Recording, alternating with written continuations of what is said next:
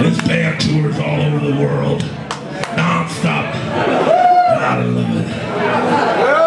And there's another thing in my life that I love there very much, and that's this girl right over here.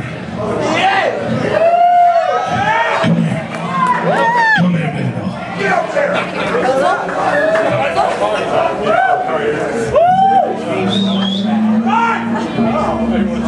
Woo!